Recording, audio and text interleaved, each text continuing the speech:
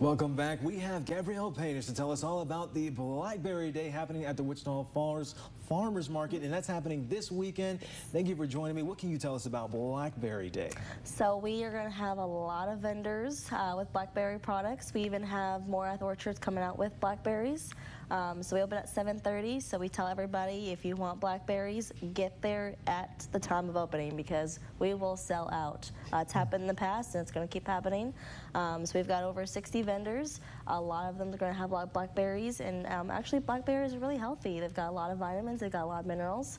Um, we're also going to give out free blackberry cobbler samples, so um, come on down, get your free sample blackberry cobbler. Yeah, you're absolutely right. So this is exactly about the time that they start growing, yes. so it's perfect when you want to get them real fresh. Oh, yes. And you're absolutely right. I've actually been on a bit of a, a better health journey myself, and berries are obviously so healthy. Blackberries are mm -hmm. also incredibly healthy, so if you're looking yes. for something that's really um, helpful for your, uh, improving your health, bolstering the digestive and all that mental function as mm -hmm. well, blackberries are great for that, what can people, uh, what, what kinds of different groups are coming to the farmers market? So we've got a lot of different vendors. We've got farmers, we've got artisans, we've got bakeries, we even have hot foods coming in. Um, so we've also, with our vendors, they're going to make products. So we've got blackberry bread. We've got a vendor that's going to do blackberry freeze-dried candy.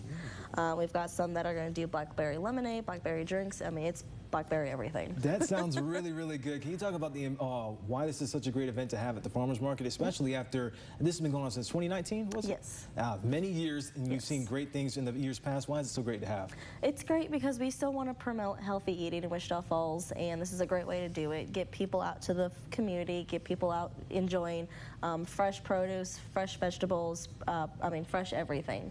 So with blackberries, it's another great way for the community to come out and learn a little bit about blackberries. I mean, we do have a free kids club, and the kids are going to squash blackberries and actually get to paint with them and see how they work.